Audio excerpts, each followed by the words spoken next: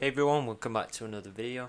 Today I'm going to be showing you how to change the core count or manage your cores on uh, Proxmox. So, on the macOS VM, when we're booting it, uh, you'll notice that pretty much all the time we do have uh, 100% usage on the VM, even though on Activity Monitor it doesn't show um, that it is actually 100%. So to fix this, we just need to add some arguments to the end of the ones that we already have. So Tor, our Discord moderator, has found this out for us, and uh, I'm pleased to say that it works fine. So I'm going to uh, grab the arguments now, but for you they'll be in the description below, uh, link to the blog post of this video. So let me just do that. So that now I've got the arguments copied, all we're going to do is go to the Proxmox um, host and then go to shell and then you won't need to log in here but just because I've got a um, policy set I do. Basically all we're going to do is go on nano slash etc pve qemu server forward slash 114.conf 114 is corresponding to your VM ID so make sure you've got that. This command will be in the description below. Press enter and then you can see where the args are from this um, from actually uh, doing this macOS VM. If you're using the template, it'll be the same. If you hold shift and then press, uh, sorry, if you hold control and press the right arrow, it'll go all the way to the end.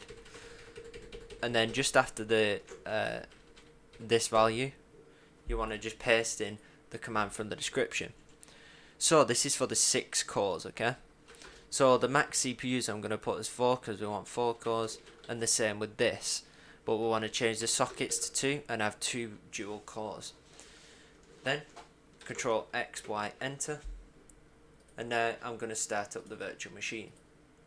I'm going to disconnect the, um, sorry, if I start now and then I'll show you the VM output when um, it gets a uh, display output. So you can see when I'm on the macOS desktop. So basically if we go into about this Mac, we'll be able to see that we have two 3.4 gigahertz unknown. Don't worry about the unknown, it's because I've got the thing set to iMac Pro. But if we go to more info, and then scroll down, once it goes to the about section, to system report, this is on Ventura. You can see here that there's two processes. The total number of cores is four. But basically, if we um, go back onto the um, Proxmox web interface, which I'll do right now, you can see here that you're not at 100% anymore, uh, which is brilliant. Uh, you're around at 12% usually, um, and it never really uh, goes above 50 uh, which is great. So hopefully that helped. If it did, please leave a like. If you're running into any trouble, um, please do visit the Discord server that's linked in the description below. Also, remember that these tutorials are free, uh, so if you do want to appreciate the work, use the link below to donate. Thanks ever so much for watching this video. Goodbye.